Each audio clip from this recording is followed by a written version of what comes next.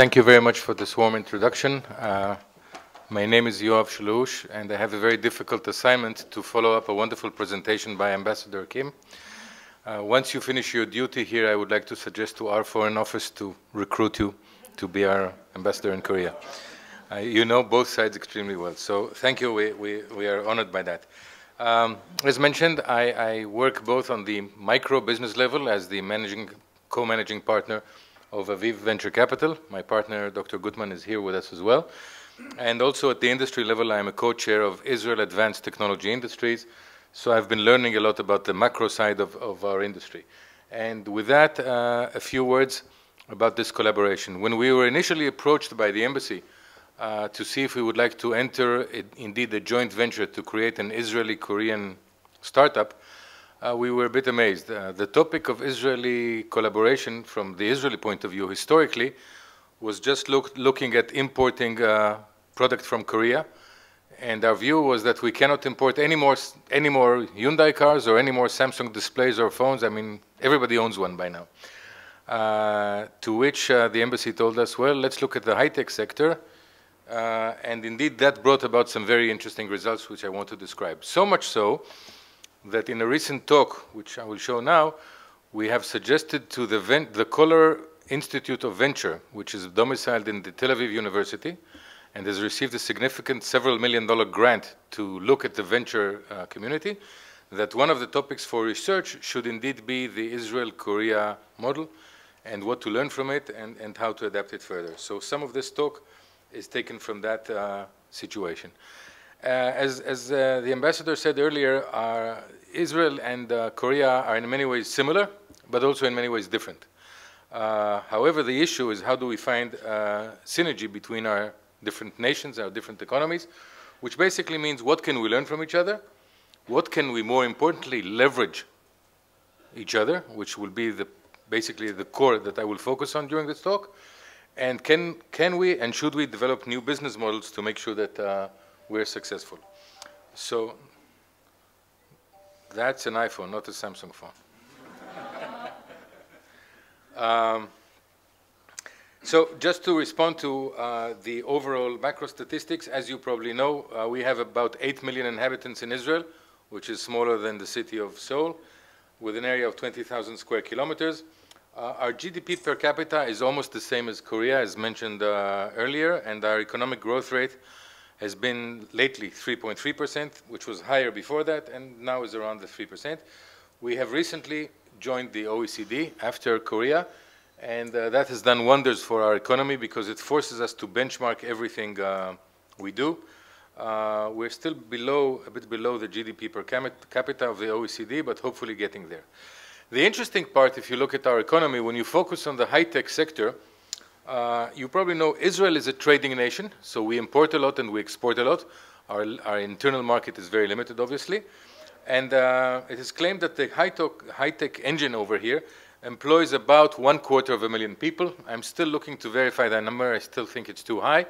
It's about 10% of our workforce. But the most interesting statistic here, by far the most dynamic, is the fact that last year we reached a point where 51% of Israel's industrial export were classified as high-tech. That means that we are the most high-tech dependent nation in the world today. So that is good news because everybody is trying to get to this point. It is bad news because we don't know where we go from here. So it, it presents both a wonderful accomplishment but an unbelievable channel and a, a challenge. And to quote uh, the ambassador, the problem in this is that there is nobody to copy.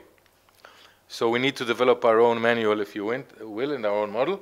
Uh, we are, oh, we, the high-tech sector is also the highest contributor to the GDP growth in the country, and we represent about 15% of GDP. Uh, let me just skip to this and I'll come back.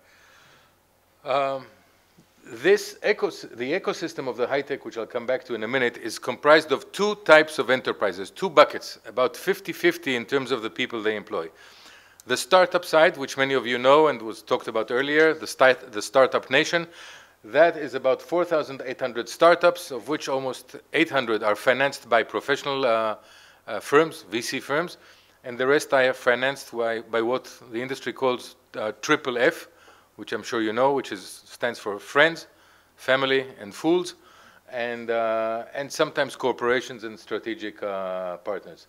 Uh, as you know, we are the second largest, we used to be the second largest foreign issuer in NASDAQ um, after Canada. Now there's China that's bigger than both Canada and us, obviously. Um, and I'll talk about the M&A uh, exits in a minute as, as we get to that.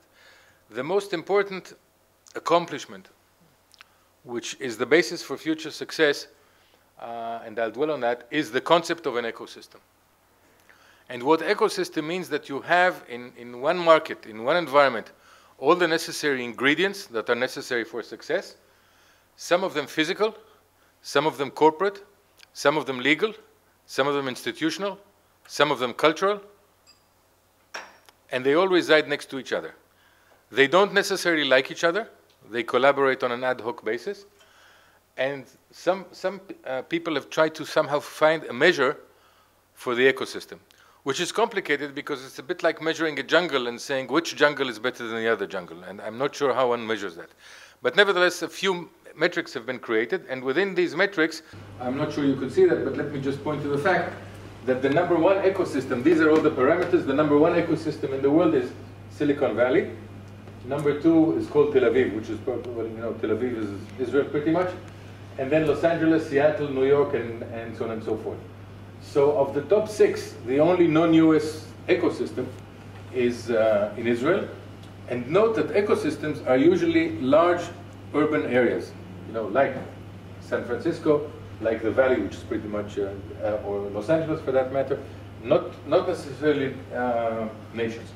So this creation of an ecosystem, which, which we, never planned, planned, it's things that happen, you promote, you assist. I'll talk about the government role in a minute, uh, but at the end of the day, it's, it's there. Um, in terms of size, uh, the industry invests about $2 billion per annum in venture capital. Three, fourth, three fourths of that comes from funds. And the way we make our money back is through exits. Um, last year was a huge year because out of the $10 billion number you see here, half was a single deal where Cisco bought an Israeli company in Jerusalem.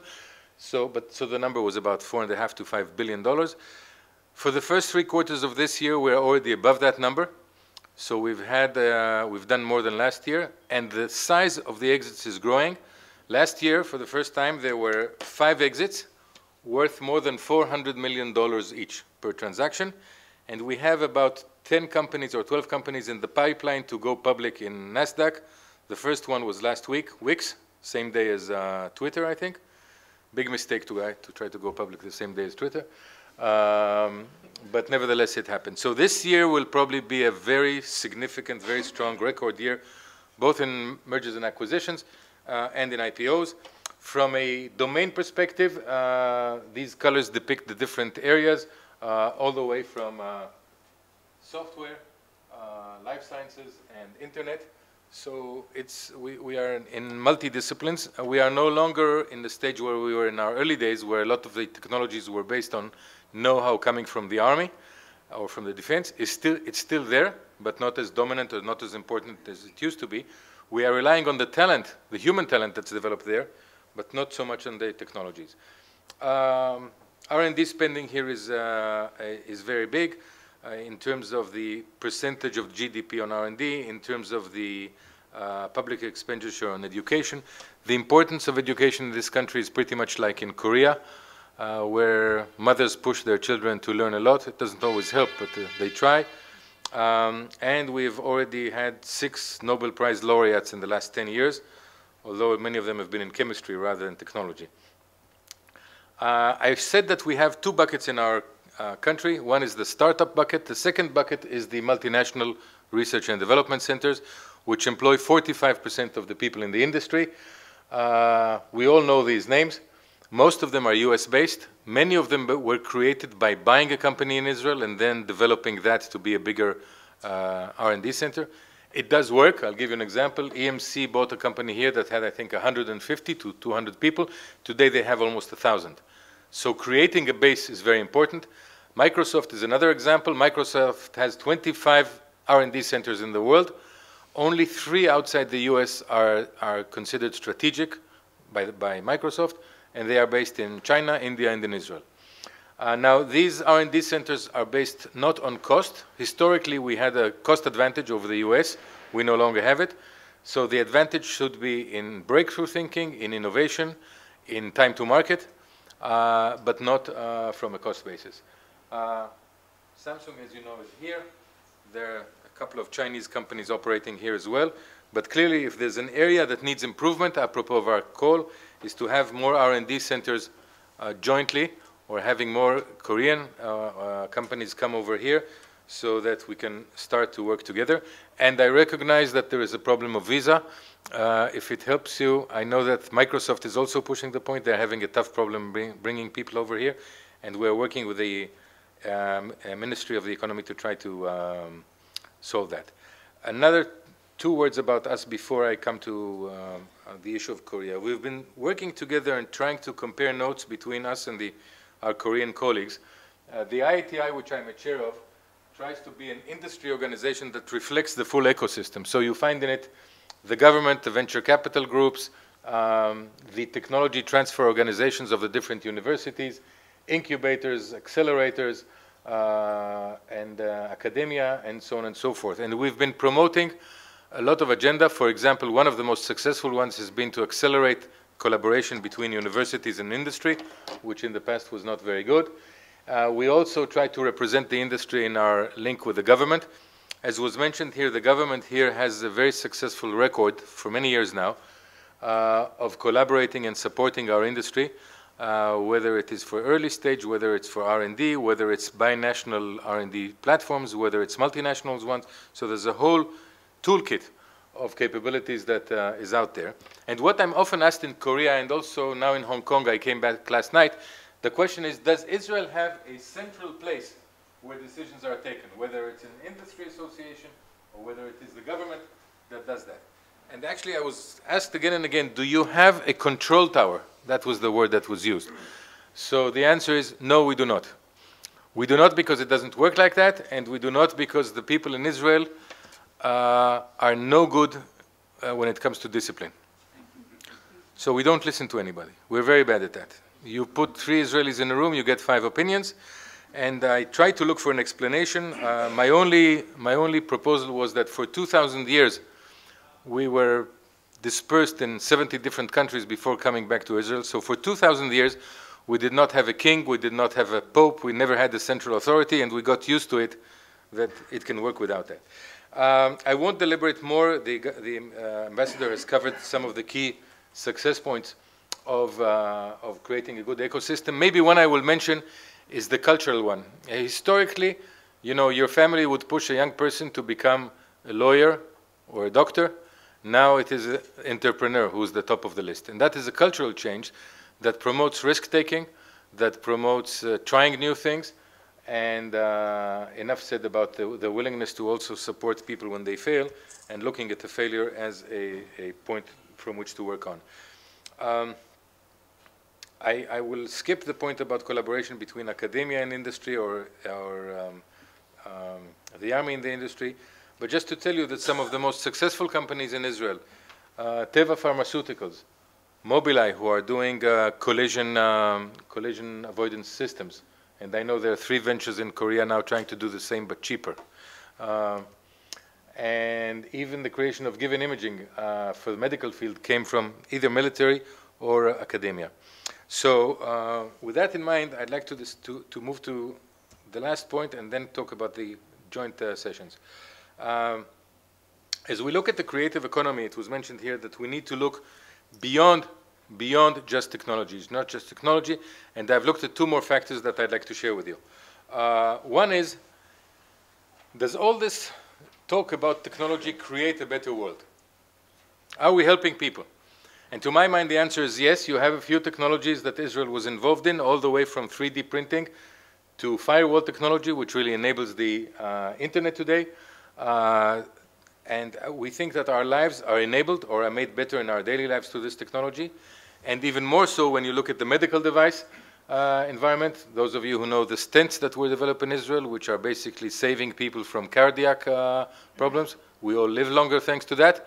And Israel is therefore helping create the old age problem of the economies of the world. as well as the device you see here of a company that is helping uh, invalids uh, walk again. Creative society is also about creating new things, and one of the things we've learned is that we also should look at the creative side, at the media side, gaming, uh, media, films, and so forth. And that has been amazingly successful somehow. I'm not sure why. If you look at the bottom, in the last six years, we have had six nominations for the Oscars in the foreign film category. Now, for a nation that is 0.01% of the world population, uh, it's not bad. Um, I'd like to skip, this presentation was done with Korean colleagues, so I'll skip the Korean side, which was covered by uh, the ambassador, but coming back to the issue of uh, synergies. So in summary, uh, this is a repetition of what was said earlier. Uh, when you look at startups, in, in Korea they're often more domestic because they have a 50 million people market. We do not, so we, we tend to be global from day one. Uh, your market is dominated by large groups. We don't have that. Good or bad, we do not. Um, a lot of the management of the Korean environment is done top-down, where, whereas ours is bottom-up. Nobody comes close to Koreans when it comes to globalization of existing product, when it looks at ex execution. Uh, but Israel is good at time to market and innovating new things. So the question really uh, uh, is what can we do together? What can we learn from each other? So the ambassador covered what Korea wants to do. Let me tell you what Israel wants to do or would like to do. Our biggest challenge today, as I told you, our model is like Korea. The, our, our specific model is getting to a plateau. So the question is, where do we grow it from here? And one of the answers, a very important answer, is Asia. Historically, everything the Israeli uh, uh, technology industry did was US oriented. It was US know how, it was US capital, it was going public in the US, it was being sold to US companies. Remember the list I showed you previously of R&D centers in Israel? Now, we all know the discussion here presents the fact that the world is no longer just US based. Do we have adequate models to go to Korea, to China, to, to Japan? Not enough. The world is lacking some of those. There are many difficulties.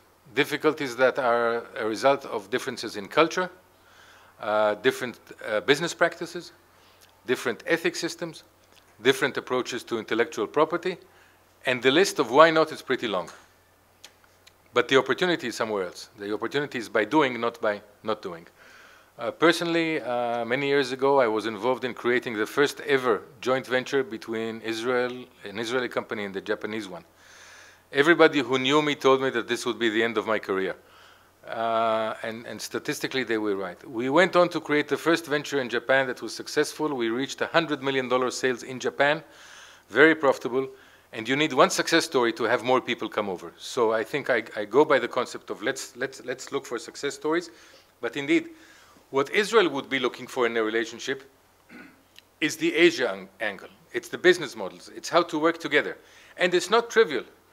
You look at the large Korean or Chinese or even Japanese conglomerates, the approach is not a win-win approach. So they also have to learn, and we have to learn how to work with each other. We all know it's very hard for a small company to work with a big one. It's also difficult for a big one to work with a small one. Very difficult. But there's got to be a, an ability to respect each other and use each other. Now, my suggestion is the following. I realize that uh, Korea would like to get more venture capital and more startups in Korea, and that's great, and maybe we can help. But for us, the big opportunity is by basically creating a linear model. What do I mean? We in Israel have too much innovation. We don't have enough capital to support all the innovation we have. We don't have enough management to do that. Let me give you an example. In the medical device field, we have today 700 companies. 700 companies. Now, Assume that each company needs at least one doctor, one physician on the management team. Where do we get 700 doctors to participate in startups? If they start leaving the hospital, God, God knows what's going to happen. So we are now looking at, at some business models, some of which you have here. I want to remind you that Pluristem in the high-tech field has created the recent uh, licensing. Samsung, I'm being specific here, has done several investments, both in venture capital and in uh, startup companies, a lot of trade missions. So there's a lot of activity going on, including the binational Israel-Korea uh, venture. But we need to take it to the next, next step. And the next step is indeed, if I would focus on one specific topic, one specific challenge, is how do you link innovation platform, which we have here, we don't need another one, to a scale platform, which we don't have, but you have, Korea has. Uh, and what are the ways that we could look for synergies? First of all, thinking about Asia-related uh, uh, strategies. So the obvious ones, or, or, or, the first areas that we are already looking at, have to do with uh, uh VLSI, telecom, and mobile. These are huge industries in Korea. Korea is a world leader. So a lot of that has been covered by the previous presentation, and there's a lot of work going on. Uh, for example, one of our portfolio companies is a chip company here in Israel, who has created an, an alliance together with both LG and Samsung, and Sony, by the way, to promote new uh, VLSI technology. So that is sort of obvious. But what is not obvious, what can create win-win situations, is by looking at new areas of collaboration and synergy which can create significant, and I venture to say very significant, opportunities. If I was to identify the top two, they would be in, uh, oh, top two, they would be in the life sciences, namely medical devices and life sciences, and the, other, the second one uh, would be in clean tech. We all have great respect for the Korean drive towards a clean and green economy. We all know that Seoul wants to be the greenest uh, city in the world. We respect that. I wish we could say the same about Tel Aviv, but not anytime soon. Uh, we have a lot of investment in clean tech, in water technologies, in uh, purification technologies, in um, uh, energy um, uh, saving models in reducing consumption of, of uh, electricity in uh, urban areas, especially in uh, air conditioners. So there are many, many companies who are dealing with that and who are finding their path to market in, the, in, in Asia limited. So basically, uh, what should be done, or what we can do, which holds great promise, is indeed to bring together businesses and probably with some support for, from uh, governments, try to create uh, joint ventures around these areas. Now let me give you an example. I mentioned to you, and do I still have a minute? You're, you're, you're the owner. So being a businessman, you know, it, it's all very nice to put up concept, but do we have concrete ideas? So let me give you a few. Let's take the medical device area.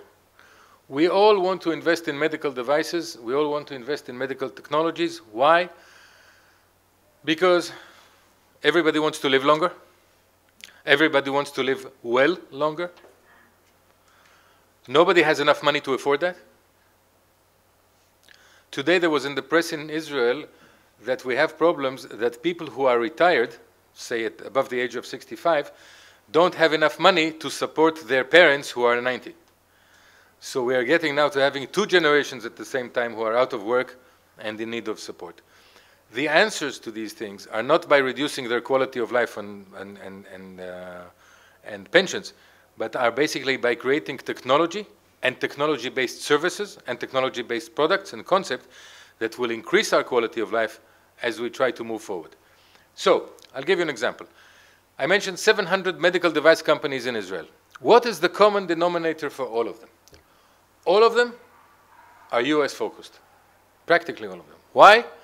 Because in medical, to date, the dominance of the US FDA across the world is total. So if I want to build a successful company, I have no choice but to go to the world's richest market and to the most influential market in terms of FDA. And that takes years. We have to have clinical trials, then we have to go to the FDA, phase one, phase two, phase three, and then we need to get reimbursement from the insurance company. That is a 7 to 15 year cycle. There is no time, there is no money, there is no management, there is no focus to look at Asia. But hang on. Most of the world population is there. So we now have a mismatch between opportunity and business. So what do we need? We need very simple business structures, many of them, where an Israeli technology could venture with a company out of Asia, let's take Korea for example, and say, okay, you take the Asian opportunity. It could be a sister company, it could be a joint venture, it could be a, success, uh, uh, uh, uh subsidiary, it doesn't matter now. And what you can have is that the Asian partner will take care of KFDA registration, SFDA registration, local clinical trials. You can share clinical trials information then between Asia and America. You can work at double the speed because you have more clinical trials. The Asian side will take the products to market locally. It can also probably do local R&D, local completion of product. It could also probably do a better job at the manufacturing, which means that actually the Israeli company can now buy products from its Asian partner for resale in America. So all of a sudden, what are we getting? lower cost in a high cost environment, higher speed in what is typically a low speed environment, and a faster way to create value for your uh, investors and to deal with more patients. This is an unbelievable scale that can be developed by, by doing what I call a sequential approach, A and B. So you take innovation that has already been developed. You don't begin with phase one, but something that's already proven or semi-proven, which has significant markets where you have complementarity, and you scale it up in Asia, uh, in Korea. Why in Korea? You have given all the reasons why in Korea, so I, I, I have no need to repeat that. The same holds true about clean tech. Now, there is competition in Asia today that does not exist in Europe, and that is who are going to be the cleanest economy. We don't have, you know, we have competition here between Jerusalem, Tel Aviv, and Haifa, but green is not one of the topics that is being discussed, unfortunately. It is that situation. That kind of competition exists today between Beijing, Seoul, Hong Kong, Singapore, for the quality of life of their people, for their ability to go to school without wearing anything on your mouth, to want to attract people rather than to lose them. I think it's wonderful. It's great. It's part of the future. Again, same model that I've explained to you earlier. Combined between early stage situations Respect what they bring to you. You can bring part of the team to Korea, no problem. You can bring Korea over here, Koreans over here, assuming we solve the visa problems. Create Asia-oriented products. They have to be probably cheaper than we sell in the US, but that can be done. And as a result, you get much stronger opportunities in all the areas of clean tech, which are primarily, in my mind, reduction of energy, especially electric energy, water treatment of all uh, kind, whether saving water or whether uh, uh, purifying water. Uh, and, and there are several others that we can uh, talk to. That also, by the way, deals with, with all the way to software. When you look at iPhone-based navigation tools for your cars, we end up saving gasoline when we drive to work. So even that impacts our economy today. So what are we looking for? We are looking to create as, as mentioned earlier, uh, success stories. We believe we have some initial uh, models, but we're still lacking success stories. We think we've identified collectively some wonderful areas of opportunity. I'm trying to focus on areas that are complementary. Remember, you want to create a VC and startup community in Korea. You want to create an ecosystem. We think it's a good thing. But it's going to take a whole generation before it impacts the economy as a whole. It took us more than a generation. So that's what it takes. So it's good to do, but it's hard to compress. So what do we do to get meaningful early successes? This model. And with that, I wish all of us uh, a, wonderful, a wonderful success story, a great joint trip, and hopefully a wonderful lunch. Thank you.